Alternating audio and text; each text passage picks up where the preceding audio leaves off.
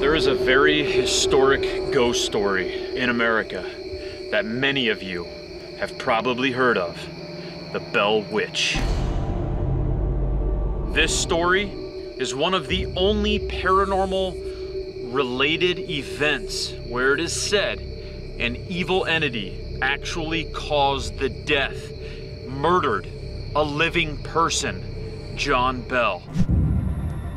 On December 20th, 1820, John Bell died when the family found a mysterious black liquid in a vial near his body. When the Bell Witch spoke in a disembodied voice, I gave old Jack a big dose of that last night, which fixed him. We are here to open this case back up.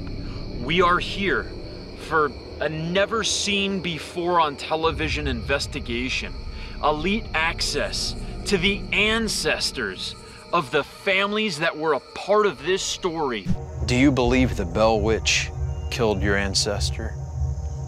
I do. He was poisoned. You are William Porter. That's right. You are a direct descendant of the William Porter, who is said to have taken a blanket, wrapped it around the Bell Witch On the bed. and try to burn it. That's right, and he wasn't able to do it. Still to this day, these hauntings are continuing here on the Bell Witch Farm.